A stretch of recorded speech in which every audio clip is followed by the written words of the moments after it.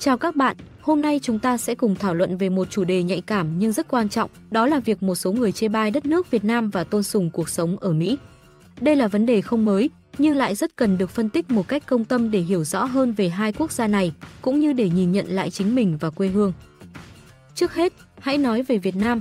Đất nước chúng ta có lịch sử hàng ngàn năm với những trang sử hào hùng, chống giặc ngoại xâm, xây dựng và bảo vệ Tổ quốc. Đó là một hành trình đầy khó khăn, nhưng cũng chứa đựng biết bao niềm tự hào.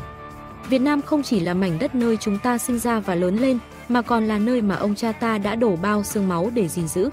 Chê bai đất nước mà không nhìn thấy những giá trị này là một hành động thiếu công bằng và thiếu trách nhiệm với lịch sử và tương lai của chính mình. Việt Nam hôm nay, dù còn nhiều thách thức và khó khăn, nhưng cũng đã có những bước phát triển đáng kể. Từ một đất nước nông nghiệp lạc hậu, chúng ta đã chuyển mình thành một quốc gia đang phát triển, với nền kinh tế tăng trưởng nhanh, xã hội ngày càng tiến bộ. Tỷ lệ nghèo đói giảm, hệ thống giáo dục ngày càng được cải thiện và đời sống của người dân ngày một tốt hơn. Đó là những thành tựu mà chúng ta không thể phủ nhận và càng không nên coi thường. Ngược lại, việc tôn sùng Mỹ một cách mù quáng cũng là một vấn đề cần được xem xét kỹ lưỡng. Không ai phủ nhận rằng Mỹ là một cường quốc với nền kinh tế phát triển, khoa học công nghệ tiên tiến và một hệ thống giáo dục hàng đầu thế giới. Tuy nhiên, cuộc sống ở Mỹ không phải lúc nào cũng là giấc mơ như nhiều người tưởng. Mỹ cũng có những vấn đề xã hội lớn như bất bình đẳng, chi phí y tế cao, tội phạm và sự phân hóa giàu nghèo. Những người nhập cư đến Mỹ thường phải đối mặt với nhiều thách thức mà không phải ai cũng có thể vượt qua. Một số người có xu hướng lý tưởng hóa cuộc sống ở Mỹ và quên mất rằng mỗi quốc gia đều có những mặt tốt và mặt xấu. Tôn sùng Mỹ và coi thường Việt Nam chỉ phản ánh sự thiếu hiểu biết và thiếu cân bằng trong cách nhìn nhận vấn đề. Hơn nữa, đó cũng là dấu hiệu của sự thiếu tự tôn dân tộc. Việt Nam không hoàn hảo, nhưng đó là quê hương của chúng ta, nơi có gia đình, bạn bè và biết bao kỷ niệm. Chúng ta có trách nhiệm xây dựng và bảo vệ đất nước mình thay vì chỉ trích và so sánh một cách không xây dựng. Thay vì chỉ nhìn vào những khó khăn và thách thức mà Việt Nam đang đối mặt, tại sao chúng ta không tập trung vào những nỗ lực mà chúng ta có thể đóng góp để làm cho đất nước tốt đẹp hơn?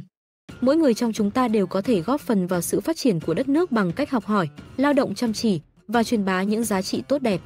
Hãy nhìn vào những thành tựu mà chúng ta đã đạt được và hãy tự hào về điều đó. Trong cuộc sống, điều quan trọng nhất là có cái nhìn cân bằng và khách quan.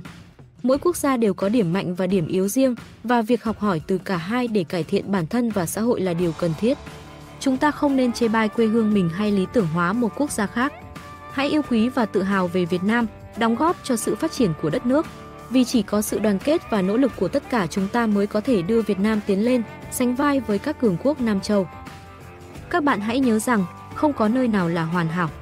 Mỗi quốc gia, mỗi xã hội đều có những thách thức riêng. Điều quan trọng là chúng ta phải biết nhìn nhận một cách công bằng, học hỏi những điều tốt đẹp từ người khác và không quên tự hào về những gì chúng ta đã và đang làm được. Việt Nam là một phần của chúng ta và chúng ta là một phần của Việt Nam.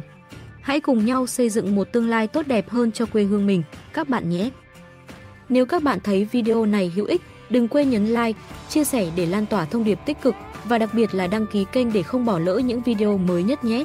Sự ủng hộ của các bạn là động lực rất lớn để mình tiếp tục chia sẻ nhiều nội dung ý nghĩa hơn nữa. Cảm ơn các bạn rất nhiều.